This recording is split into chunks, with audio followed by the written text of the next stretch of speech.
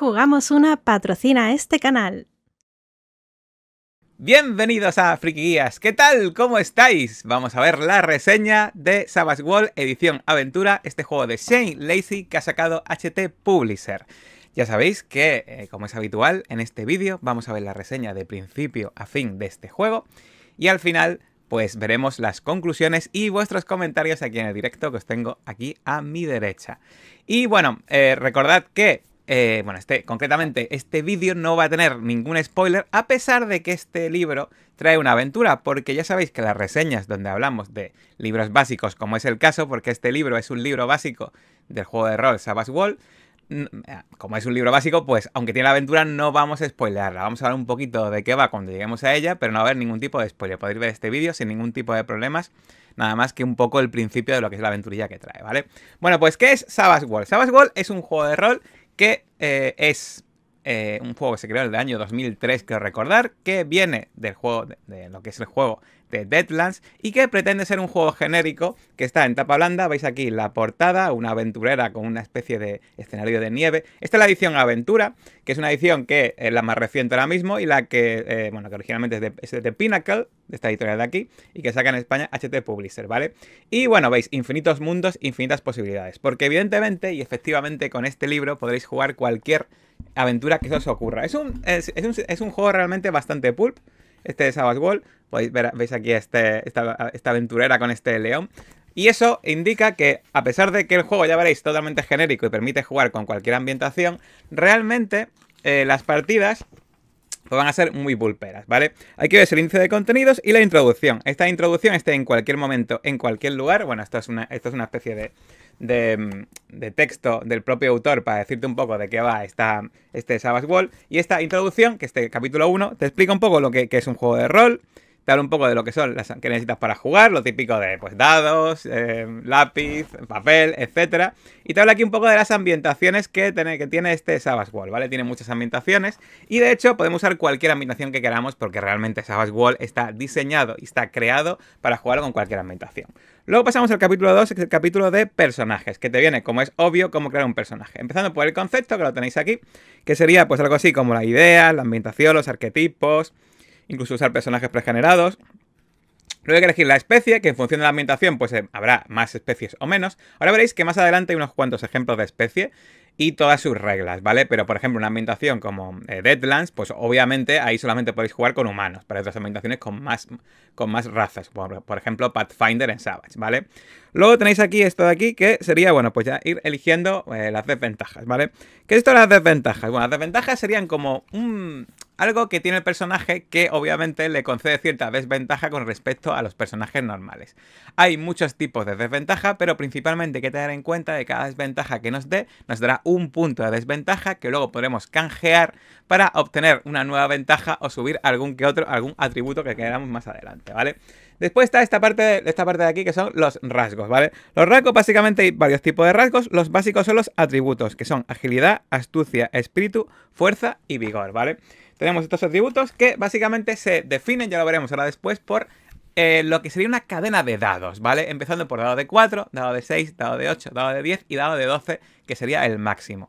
A la hora de repartir los puntos, empezamos con dado de 4 y podemos repartir a 5 eh, puntos. Cada punto, pues te da una subida de dado de 4 a dado de 6, etcétera, ¿vale? En la página siguiente ya veis que más rasgos serían los, lo que serían las habilidades. Las habilidades hay que. Tiene, hay 5 básicas y esto es algo muy interesante porque las habilidades. Eh, hay 5 de ellas que son las básicas, dependiendo de la ambientación que estemos jugando, que eh, van a empezar con dado de 4. Y todo el resto de habilidades van a tener ningún dado. Y tenemos hasta 12 puntos que repartir. Y estos 12 puntos lo que hacen es que cada uno de esos puntos que repartamos van a tener pues un dado más. Las básicas van a tener como mínimo un dado de 4, estas 5 básicas, y las otras vas a poder subirlas o no. Y de hecho se podrán hacer tiradas sin entrenar, ¿vale? Aquí tenéis pues todo esto que os estoy comentando aquí, ¿vale? Luego tenéis esto de valores derivados, que sería calcular el paso, que es el movimiento, la parada, el tamaño, la dureza, etc. Y aquí ya lo que serían las ventajas, ¿vale? ¿Qué es lo que os he dicho antes? Que serían pues algo distinto que hace que el personaje pues tenga una mejora con respecto a otros personajes. Pero cada ventaja que cojamos cuesta dos puntos de desventaja que tenemos que haber gastado antes. Por cierto, los puntos de desventaja como máximo podemos tener cuatro. Aunque cojamos más desventajas por roleo, no tendremos más puntos de desventaja, ¿vale? Y luego ya, pues tenemos por ahí lo que es el equipo, detalles de trasfondo, em, eh, etcétera, ¿vale? Obviamente el equipo va a depender de la ambientación y los detalles del trasfondo, pues ya un poco de cómo se lo monten los jugadores, ¿vale?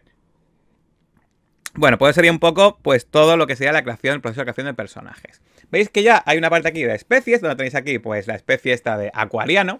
Y si vamos pasando, pues veréis que hay mogollón de especies para poder eh, ambientar nuestras partidas y que, eh, pues, algunas pegan con algunas ambientaciones, algunas pegan con otras, por ejemplo, enano, pues pegaría con una ambientación, de fantasía medieval, aunque, como diría Josep, podéis usar enanos en cualquier ambientación que se os ocurra, ¿vale? Y veis aquí, bueno, pues básicamente todo esto de las razas que hay ejemplos. Hay, eh, hay una tabla, vaya, de creación de especies, podemos hacer nuestras propias especies tirando de tablas, y es que este juego ya os he dicho que pretende ser un juego genérico, que bueno, ahora después en las conclusiones hablaremos de lo que es un juego genérico, ¿vale? Pero resumiendo, pues aquí tenéis pues formas de crear personajes, pues eh, especies más avanzadas, ¿vale? Luego aquí tenemos la lista de desventajas, que pues obviamente tenemos aquí un montón. Eh, bueno, eh, voy a ponerme así porque esto si no son muchísimas páginas de desventaja. Luego tenemos aquí, aparte de todas estas desventajas, pues tenemos una lista de ventajas y luego ya pues lo que sean los rasgos aquí. Te habla un poco de los atributos, lo que, cuáles son las habilidades, cuándo usar los atributos, cuándo usar los rasgos, etcétera, ¿vale? Aquí tenemos pues varios ejemplos de habilidades y todo esto que tenemos por aquí, hablando un poco del, tema este, ¿vale? Y bueno, con esto eh, ya teníamos, eh, por cierto, fijaos que veis que algunas tienen una estrellita, algunas habilidades, esas serían las habilidades básicas de la ambientación, pues básica entre comillas de Savage World, pero cada ambientación tiene sus propias habilidades básicas, ¿vale? Aquí tenemos la lista de ventajas y lista de ventajas pues también hay varios tipos, ventaja de combate, como hemos visto aquí, luego tenemos por aquí ventajas de liderazgo, como podéis ver ahí arriba, ventaja de aquí, ventaja de liderazgo. Y bueno, pues obviamente hay mogollón de opciones y de ventajas. Hay que decir una cosa de Savage, es que esto, este libro, te permite jugar cualquier juego de rol, cualquier partida de rol que se te ocurra, con este tono, yo os he dicho un poco pulp. Pero realmente la coña que tiene Savage World es que luego cada libro de ambientación, como veremos después, eh, o veremos en próximos vídeos eh, de Deadlands, por ejemplo, tiene sus propias ventajas, desventajas, tiene sus propios arquetipos, su propio equipo y obviamente todo relacionado con lo que es ambientación, ¿vale? Tenemos aquí una parte que sería la parte de avance, que en esta tablita de aquí vemos lo que son los rangos de avance, como podéis ver ahí, ¿vale? ¿Qué es el avance? Bueno, básicamente el avance es que se tiene que dar, bueno, ¿cuánto? El avance será como la experiencia, ¿vale? ¿Cuántas veces se deben dar avance a los jugadores? Bueno, si es una campaña corta o una aventurilla, aventurillas cortas, pues cada sesión se les puede dar un avance a los jugadores. Si son campañas más largas, pues cada dos sesiones o cada tres sesiones. El máster va a depender un poco.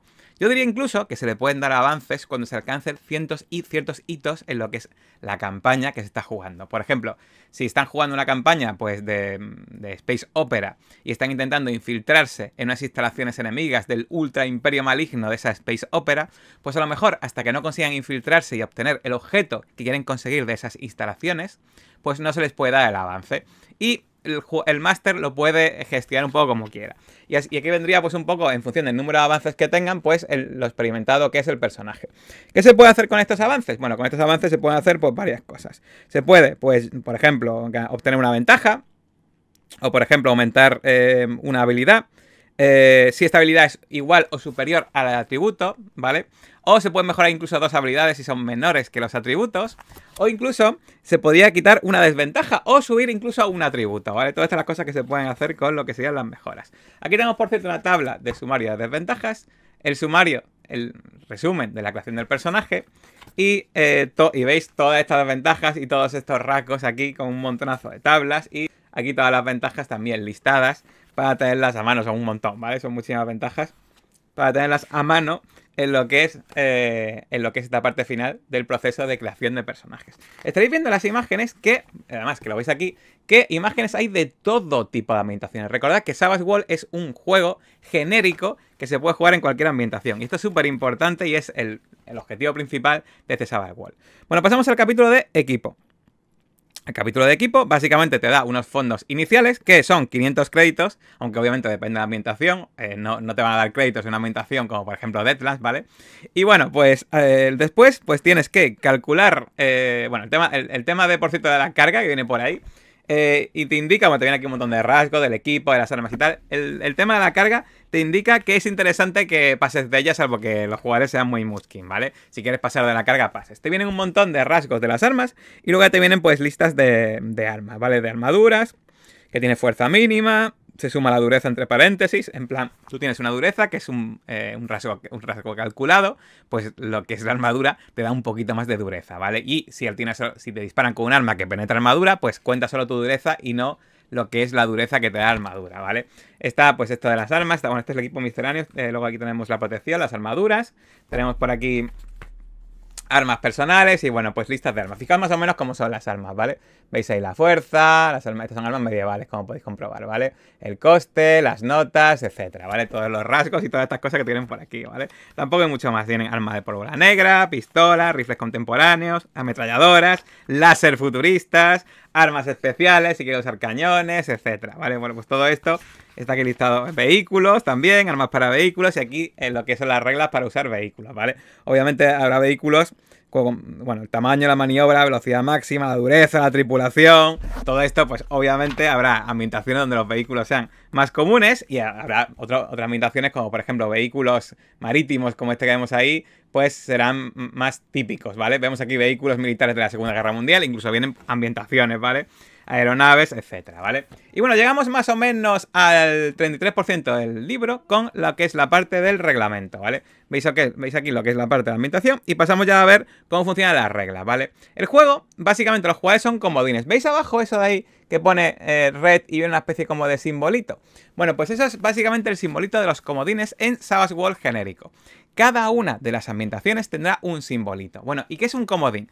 Los personajes son comodines y habrá villanos y personajes específicos que también serán comodines. Y los comodines son como personajes especiales y que son algo mejores que las masillas que no son comodines, ¿vale? Que se puede decir así. ¿Qué reglas tienen los comodines? Bueno, los comodines básicamente pueden llegar a sufrir tres heridas, Pueden usar un dado salvaje, además del propio, y bueno, básicamente pues son más especiales de lo normal, ¿vale? Bueno, ¿y qué es eso de las heridas? Ya lo veremos después en la parte de daño, pero eh, un personaje normal, aparte de quedar aturdido, luego puede sufrir tres heridas antes de quedar, pues, entre comillas, incapacitado y tener riesgo de morir. Sin embargo, un personaje que es un masilla, en el momento que recibe una herida, pues ahí se queda en el sitio, ¿de acuerdo?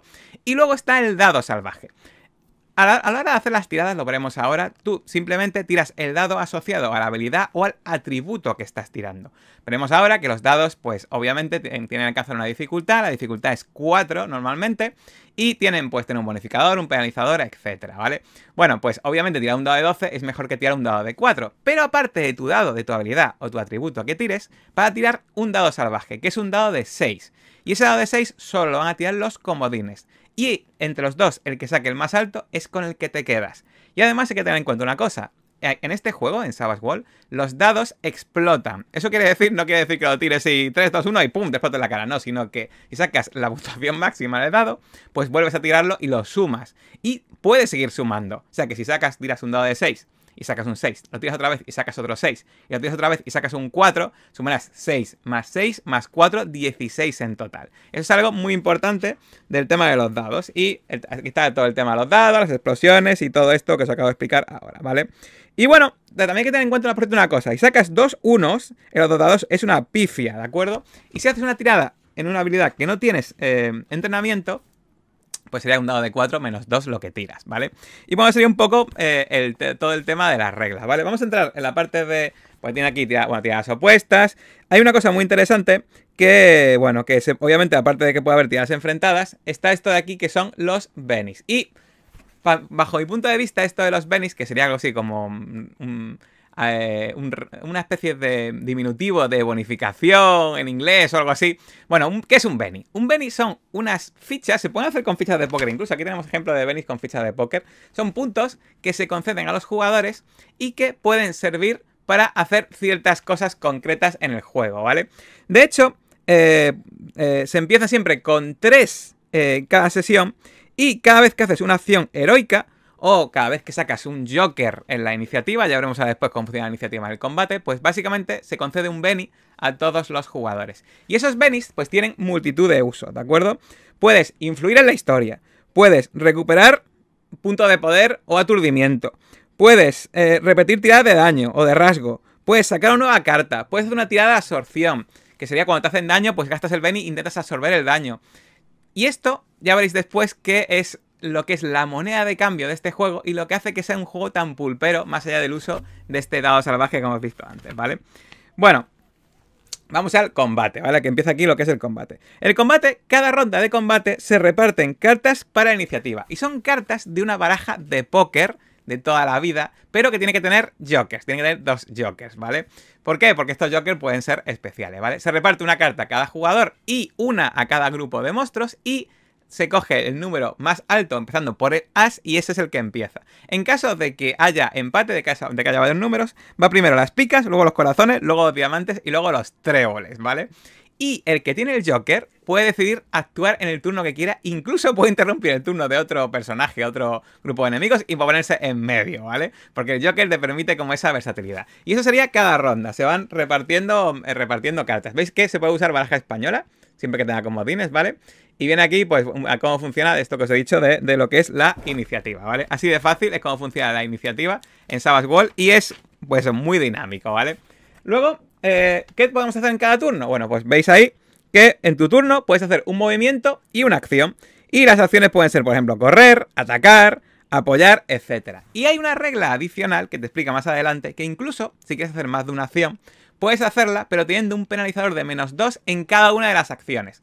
Por lo tanto, si por ejemplo hacemos tres acciones, pues tenemos menos 4 en todas las acciones. Ojo que es chungo, ¿eh? Recordad que en este juego, aunque la dificultad sea 4, tiramos solamente un dado y tenemos que sacar 4 más. No es tan fácil, ¿vale? Entonces, si hacemos tres acciones, nos arriesgamos bastante, ¿vale? Normalmente vas a hacer un movimiento y una acción y ya está, ¿vale? Pero bueno, tenemos la acción esa de hacer un movimiento, que viene aquí cómo funciona el movimiento, y una acción, ¿vale? Y bueno, aquí tenemos, eh, pues cómo funciona por terreno difícil, los peligros, etc. Y aquí ya tenemos lo que serían los ataques, ¿vale? Hay dos tipos de ataque, que sería cuerpo a cuerpo y a distancia. A cuerpo a cuerpo sería el valor objetivo, la dificultad sería igual la parada del enemigo que queremos atacarle, ¿vale? La parada es 2 más la mitad que lo tenga en pelear, ¿vale? Y luego ataque a distancia sería, pues, usando esta tabla que viene aquí, ¿vale? En función de la distancia que tenga el arma, pues a distancia corta sería, pues, 4, a distancia media sería, pues, 4, pero hay menos 2 a la tirada, larga y extrema, como podéis comprobar ahí, ¿vale? Eso sería un poco, pues, eh, cómo funciona. Bueno, en este juego se puede apuntar, en este juego te puedes poner en cobertura, pero todo esto está en reglas adicionales. La base del juego no es muy complicada, pero ya veréis que después hay un montonazo de reglas adicionales que pueden complicar bastante el juego y que sinceramente, aunque aquí viene ya que se haga así de esa forma, eh, yo recomendaría también empezar usando solamente las reglas básicas e ir metiéndolas poco a poco según vayamos queriendo, ¿vale? Bueno, aquí tenemos eh, bueno, la, munición, en función, hay armas que pueden disparar varias, varias balas en el momento, cadencia de fuego, vaya, y cuántas balas gastas si haces mucha cadencia de fuego. Y bueno, básicamente ya sabéis, las típicas reglas pues para lo que es el, lo que es el ataque, ¿vale? Y aquí ya tenemos lo que sería el daño, ¿vale? El daño pues va a depender según el arma que usemos. Habrá armas que son cuerpo a cuerpo, que será pues fuerza más cuerpo a cuerpo, y luego otras armas que será pues en la que diga el arma ya está, ¿vale? Se compara con la dureza y aquí viene el tema de las heridas. El tema de las heridas, que es esta tabla de aquí, es un poco tricky, ¿vale? Si se tiene éxito y la víctima no está aturdida, pues se le aturde. Pero si se tiene éxito y la víctima está aturdida, pues se le hace una herida. ¿Vale? Ojo, que luego fijaos, si la víctima estaba aturdida y se le hace eh, un aumento, un aumento de sacar 4 más de la dificultad, ¿vale? Pues se le hace aturde y una herida y también se le aturde una herida aunque estuviese aturdido, ¿vale? A partir de aquí ya siempre es lo mismo, esté aturdida o no. Si le hacen dos aumentos, se le aturde y dos heridas. Si, tienen, si le hacen tres aumentos, se le aturde y tres heridas, etcétera, ¿vale? Y si alguien se le hiere estando con tres heridas, pues eso puede ser, eh, lleva a la incapacitación, a ver si lo digo bien, eh, incapacitación, incapacitación, ya lo he dicho bien, por fin, y a las lesiones. Esta es la tabla de lesiones. Anda que estoy bien hoy, se me traba la lengua. Bueno, ¿veis esto? La regla de oro, os explico la regla de oro. ¿Veis esto de la tirada de absorción? La tirada de absorción que simple y llanamente podemos gastar un Benny para intentar absorber las heridas que nos han hecho, ¿vale? Esto solo lo pueden hacer, obviamente, quien tenga Benny's para hacerlo, ¿vale?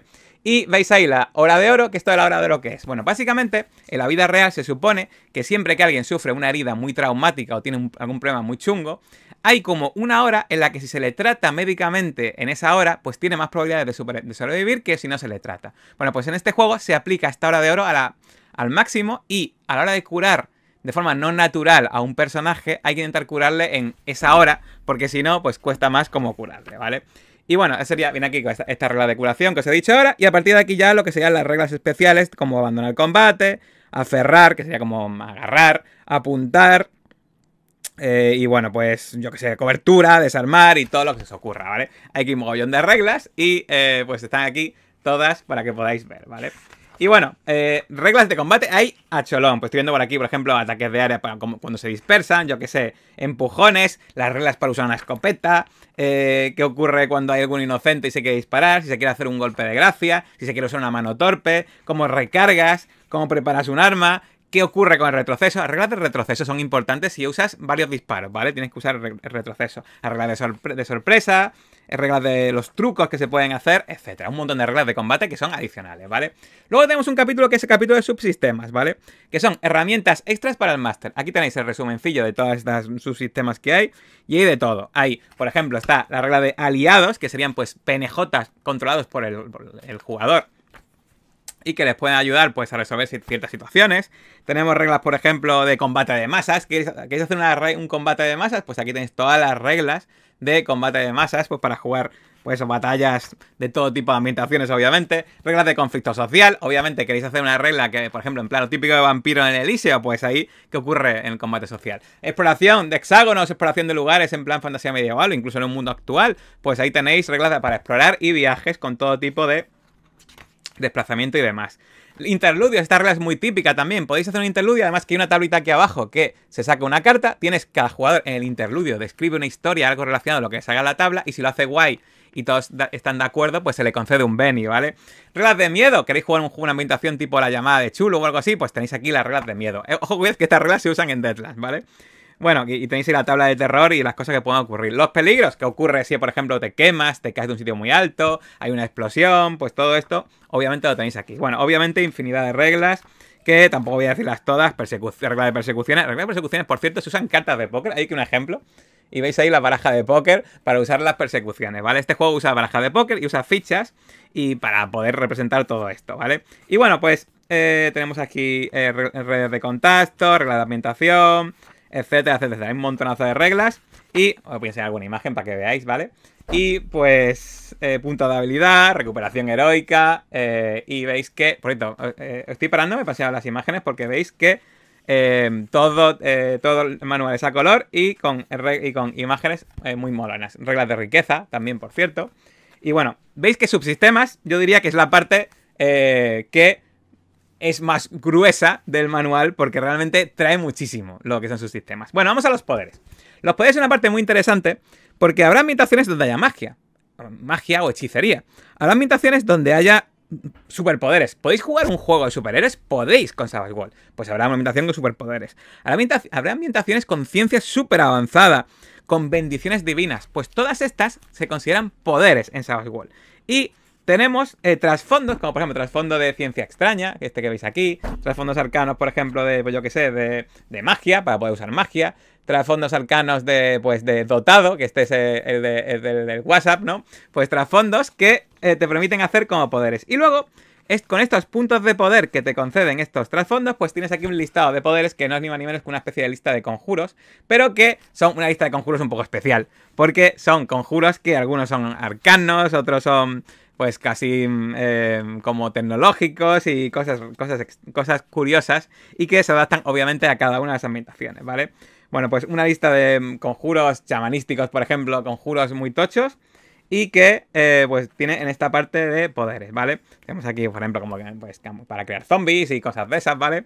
Todo tipo de, de conjuros y de poderes. Si aquí el sumario de poderes, ¿vale? Lo tenéis aquí. Bueno, vamos al capítulo número 7 que es el capítulo de bestiario. Este capítulo, pues te vienen los rasgos que tienen las criaturas, que veis ahí, pues acuático, armas aliento, etc. Las, las criaturas, pues tienen, obviamente, ahí veis ahí un dragón, en una, ambientación medieval. Pues obviamente las criaturas, pues tienen sus, sus, rasgos, y después de ver sus rasgos, pues vemos las estadísticas de estos, de estos monstruos. Y ya veréis que algunos monstruos, voy a pasar para que veáis alguno, que aquí, infeccioso, resiliente, regeneración, por ejemplo, la araña gigante.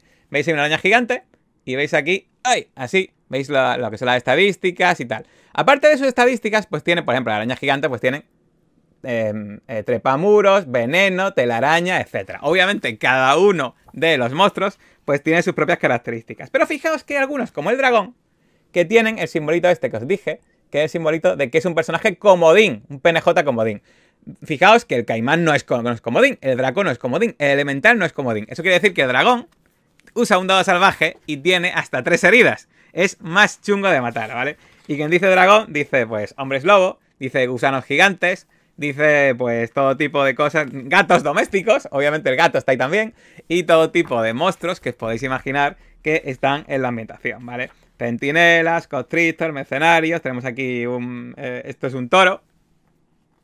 El toro, pues está también. Una imagen de un toro, un vampiro, el vampiro anciano es comodín, el, el vampiro normal no, etcétera. Bueno, capítulo de dirección. Este capítulo, pues obviamente son consejillos para el máster y eh, lo que os he dicho antes. Aconseja empezar usando las reglas poquito a poco. ¿Por qué? Porque fijáis esta ambientación, esta imagen de ambientación que mola un montón.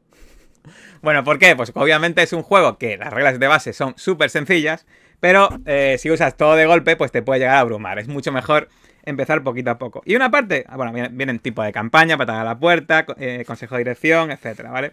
Y una cosa que a mí me mola mucho, esto por cierto es una imagen que veis aquí, pues superhéroes, ¿vale? Se puede jugar con superhéroes, se puede jugar con superhéroes, ¿vale? Bueno, hay una cosa que a mí me mola mucho, esto, que es los consejos sobre los Benis, ¿vale? Viene aquí Benis, ¿veis? Y te aconsejan, mm, eh, pues, consejillos sobre cómo usar estos Benis.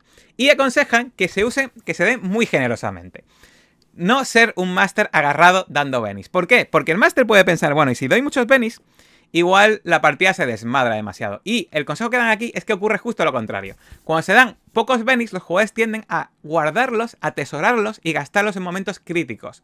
Lo cual hace que pues sea como un poco menos pool y menos divertido. Pero si se dan alegremente, los jugadores, como saben que tienen muchos benis, los van a gastar en un montón de situaciones. Y ser un máster generoso con benis representa que haya partidas mucho, mucho más divertidas, ¿vale? Y bueno, aquí un poco de ritmo en combate, interpretar las tramas, cómo funcionan los extras, etc.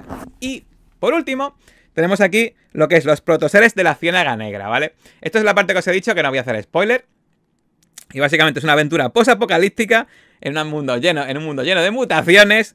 Eh, donde la tecnología actual en el momento en que se juega la partida es casi como medieval, ¿vale? Los personajes tienen, están en un mundo en el que tienen una ciénaga. Bueno, resumiendo, están en una aldea junto a un pantano y resulta que había unas desapariciones, ¿vale? Empiezan a investigar estas desapariciones y en ese pantano, es un futuro posapocalíptico, como os he dicho, pues hay...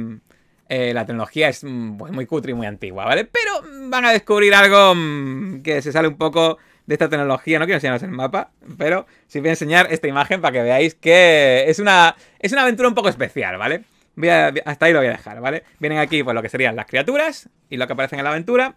Y hasta aquí pues todo lo que es todo lo que es la aventura. Tenemos una parte de sumario de estados al final. Si queremos ver pues todos los estados, por ejemplo, distraído, vulnerable, aferrado, inmovilizado, etcétera. Una plantilla de áreas, esto es muy curioso, y dices, joder, una plantilla de áreas, estos daños andragos. Bueno, es que esto se puede jugar, de hecho, está pensado, si se quiere, para jugarlo con miniaturas y cuadrículas, así que se pueden usar áreas, efectivamente. Pues tenemos aquí esto de las áreas que, evidentemente, si no lo imprimís, pues a lo mejor no resulta muy útil, ¿vale? Y luego tenemos aquí lo que sea la hoja de personaje, que viene ahí arriba, pues la agilidad, astucia, veis lo de los dadetes, ahí se ve, los dadetes, viene el nombre, la especie, los benis y tal, y viene ahí las habilidades. Fijaos, por cierto, que en la parte de ventajas y desventajas viene ahí una N, una E, que sería pues novato, experto, veterano, etcétera, heroico, legendario, y son eh, los avances que se van a ir cogiendo. Al principio se van cogiendo avances hasta que llegas a 5, en el momento que llegas a 5 ya es novato, etcétera, ¿vale?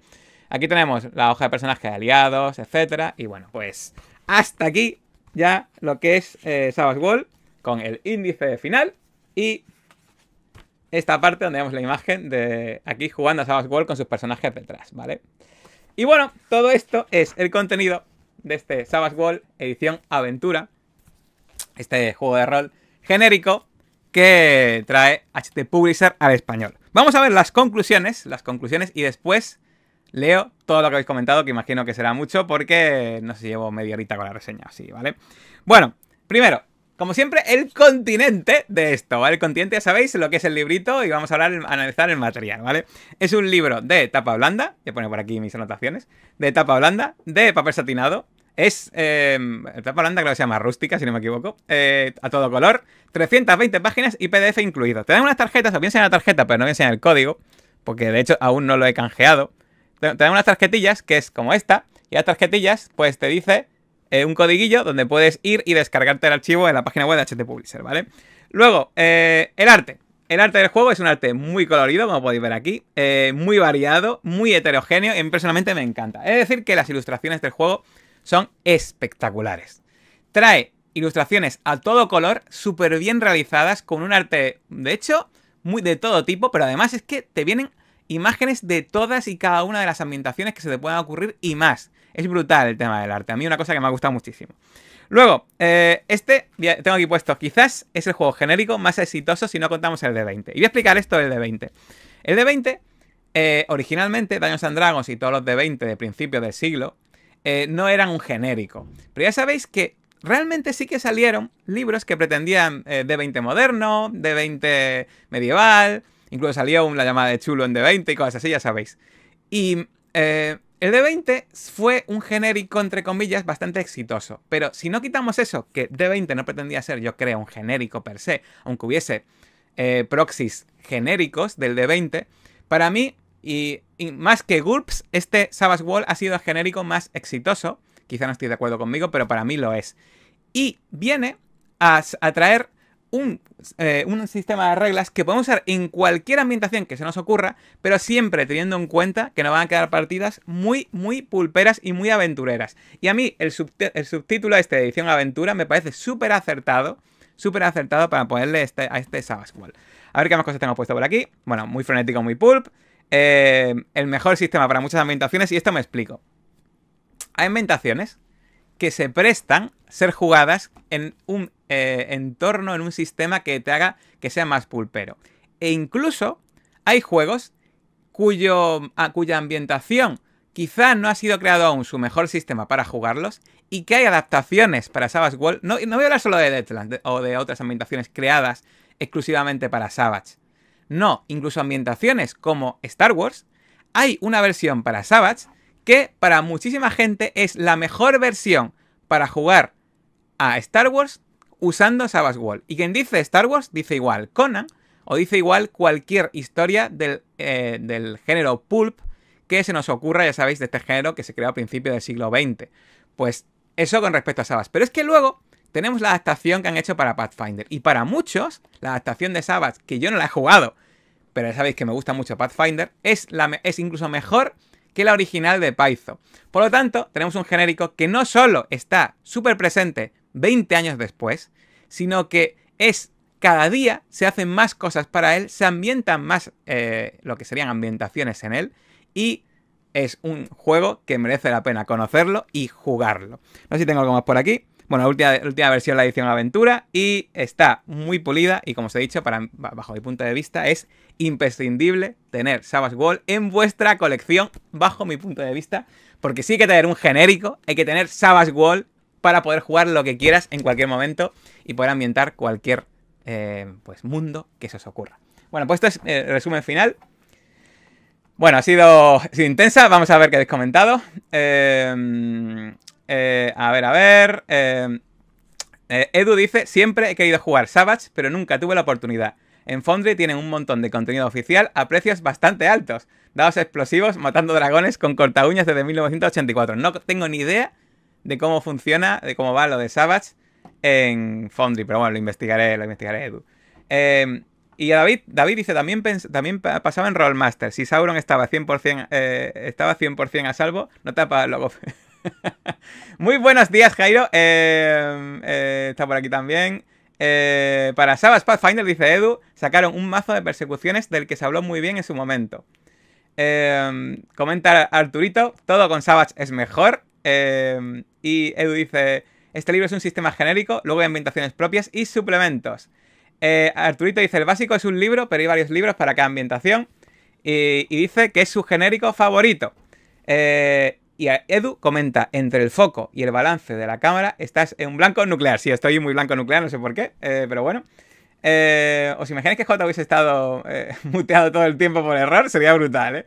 SJ estaba en modo pool, por eso brilla. Sistema fácil pero profundo, dice Conder. Con posibilidad de cualquier ambientación. Con este juego tendrías que jugar de forma indefinida. Y Aladra dice, dan ganas de soltar los billetes. Y comenta César, ¿cómo se diferencia una partida con Sabas comparada a otra, un juego como Fate? Pues eh, se diferencia principalmente que Fate se centra en, en es un sistema mucho más narrativo con el tema de los dados fudge, estos aspectos y tal. Pero bueno, las comparaciones yo creo que merece la pena hacerlos y podría, podría hacerlo más adelante, hacer en juegos de la época, de comparar un PBTA con un Fate, con un Savage, que son cosas totalmente distintas, pero creo que podían dar para otro, otro vídeo, pero no para este. Así que hasta aquí a llegar el vídeo de hoy. Disculpad que se me vea así tan blanco nuclear hoy. Espero que al menos se haya visto bien lo importante que es este Savage Wall edición aventura. Ya sabéis que os ha gustado el vídeo, podéis darle un me gusta si es grande, suscribiros al canal, dar a la campanita para que os avise de vídeos nuevos. Ya sabéis que todo esto es gratis, al igual que escribir comentarios y nos ayudáis un montón si lo hacéis. Y que también tenemos nueva tienda patrocinadora que es Jugamos Una, que os suscribís con el enlace que debajo. Os dan un 5% de descuento en vuestra primera compra para comprar juegos de rol como este y pues muchos otros que queréis comprar. Venga, nos vemos en el próximo vídeo. Adiós.